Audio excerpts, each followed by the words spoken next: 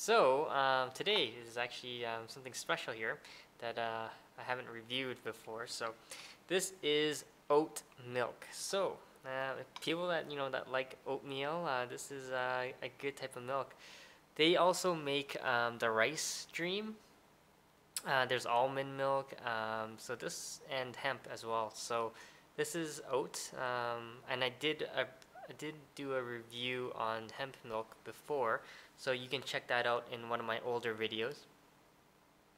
So, today we're going to talk about this uh, oat milk, and for those who don't know, this company actually is Canadian, and they make it in Delta, BC. So, now, if you look at the ingredients, hopefully you can take a look at that. Um, basically, it's made from oats, um, has a little bit of evaporated cane juice.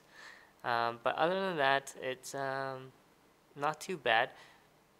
But because um, oats are usually made in the same factory as wheat, you do have to be careful about um, gluten with this. Okay, but if you look at that, I don't know if you can read that. It says may contain wheat because of that same factory that I talked about before. So I'm going to open this up and uh, I'll tell you about my review.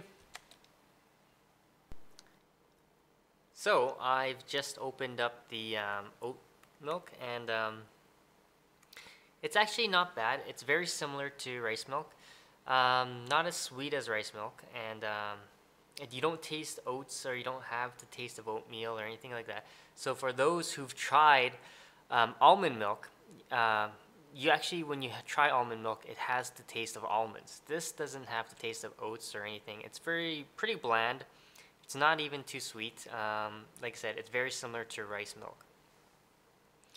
Now, if you looked at the that label and uh, on the front cover, you see it's enriched.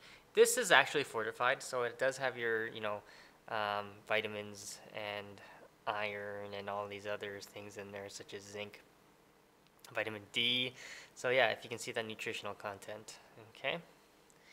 Now, this is a good alternative for those who can't have dairy. So like, like I said, there's a lot out there. You don't have to have oats, um, but this is a good alternative. Um, you can have almond, you can have hemp, you can have oats, you can have, uh, you can have rice. Um, and there is coconut uh, milk as well, uh, which I will review in an upcoming video. So for those uh, who have, you know, uh, dairy sensitivities, this would be a very good option. Um, and it tastes pretty good. It's, it's, uh, look at this, this is, this is it right here. Texture, if you look at it, it's pretty watery. It's just like water. Um, and it goes down pretty easily. Uh, it's not thick, it's not creamy at all. So uh, it goes pretty well. Um, so not too bad. And like I said, it's pretty bland, maybe a slight subtle sweetness to it.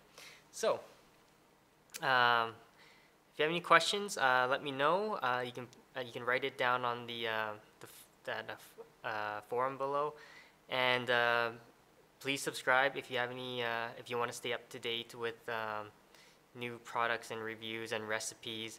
As well, please check out my other channel for some health tips as well. Okay.